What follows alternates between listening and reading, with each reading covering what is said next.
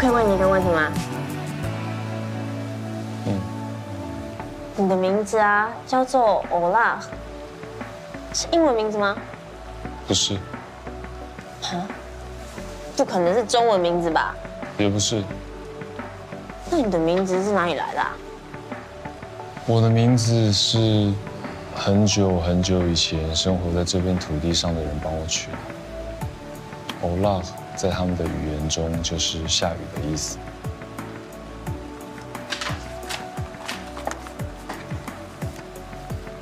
你写下来给我看好不好？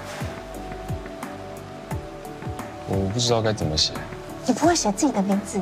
我不是不会写。你是不是不识字啊？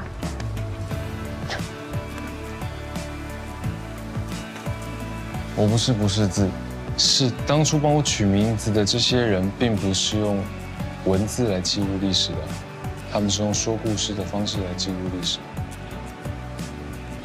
所以说你的名字只能用说的，不能用写的。没错。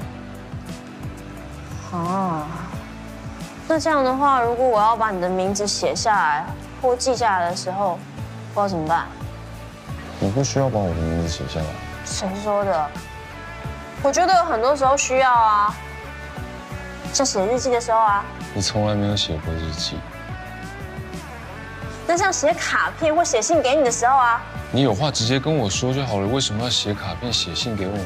不是嘛？你怎么都没有想过？有的时候我也会有有话想要跟你讲，但当着你的面不知道怎么说出口的时候嘛，那这种时候我就要写信或写纸条给你啊。算了，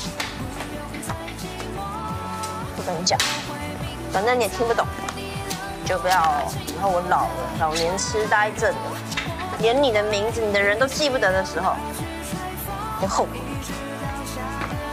等一下，你真的想写的话，帮我取一个就好了。